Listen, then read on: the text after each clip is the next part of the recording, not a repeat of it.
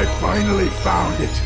And now no one can stop me! But seriously, I'd be awesome help. Me? Possibly former Dragon Master, helping a knight from England track down and capture super bad guys? Ooh, and returning the gauntlet would be a perfect way for me to save face and earn trust and regain my title.